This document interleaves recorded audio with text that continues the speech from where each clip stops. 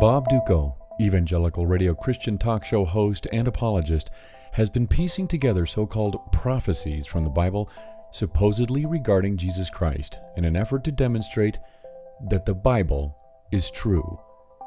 In this episode, it's prophesied in Hosea 11 that he would take flight to Egypt. It says, When Israel was a youth, I loved him, and out of Egypt I called my son. And what source does the apologist use to confirm this incredibly specific prophecy concerning Jesus of Nazareth? Sure enough, in Matthew 2 14 and 15, it says, And he arose and took the child, Jesus, and his mother by night and departed for Egypt, and was there until the death of Herod. And what was spoken by the Lord through the prophet might be fulfilled, saying, Out of Egypt did I call my son. To be fair to the apologists, they are not the ones scouring the Hebrew Bible trying to strain whatever potential mention of Jesus they can from any source that looks like, or can be made to look like, it refers to their Savior. The so called prophecy of Jesus' flight into and eventual call out of Egypt was invented by the author of Matthew, as any mention of such an escape and return is completely absent from Mark's Gospel, as it is missing from Luke's and John's the book of Acts, and in any of the epistles. Hosea 11, to which the author of Matthew likely referred, has nothing to do with an eventual Messiah to be born in the late 1st century BCE. It is a passage, not a prophecy, about the history of Israel. The son of the passage is Israel itself. Read in context, this is abundantly clear. When Israel was a child, I loved him and out of Egypt I called my son. The more I called them, the more they went from me. They kept sacrificing to the Baals and offering incense to idols. Yet it was I who taught Ephraim to walk. I took them up in my arms, but they did not know that I healed them. I led them with cords of human kindness, with bands of love. I was to them like those who lift infants to their cheeks. I bent down to them and fed them. They shall return to the land of Egypt and Assyria shall be their king, because they have refused to return to me. From the context of Hosea 11, it is clear that the son being called out of Egypt is Israel, and that this isn't any sort of prophecy, but a reminder of Israel's release from bondage by Yahweh through the deeds of Moses. Some apologists acknowledge this original context of Hosea 11 and yet are forced to defend it as also a future prophecy regarding Jesus because of Matthew's Gospel. Some have done this by inventing something called a double fulfillment for the verse, so that it will apply to both Israel and Jesus.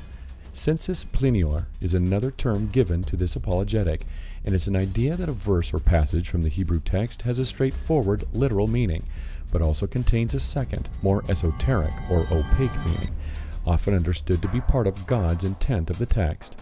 This second, more esoteric meaning was hidden from the original author's mind as he wrote his text under divine inspiration, but can be revealed through the Holy Spirit to later authors and interpreters of the text, like the author of Matthew's Gospel. The self serving function of this apologetic should be clear. Passages can have this double meaning when, and only when, it serves a particular apologetic purpose. It isn't something objectively found in the text, but teased out under a decidedly Christian influence.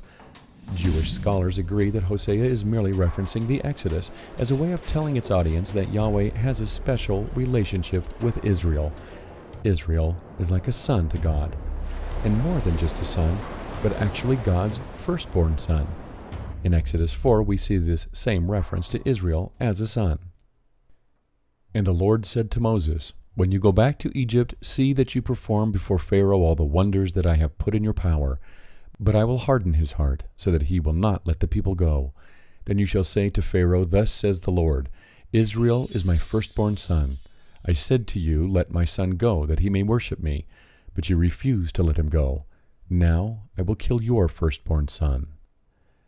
To suggest that the passage from Hosea, which also references Israel as God's son, is instead a reference to Jesus, is purely a Christian apologetic construct and misses the entire point of Matthew's Gospel, which was to provide a connection between Jesus and Israel, not as a literal fulfillment of prophecy. For Matthew's author, Jesus was the new Israel, the true Son of God. The author of Matthew's Gospel was likely a Jewish Christian, writing for a community of other Jewish Christians, as opposed to Gentile Christians. The author found it important to write what he felt were similarities between the nation of Israel and the life of Jesus, to establish for his community this recognition of Jesus as the true Israel, as God's true firstborn son.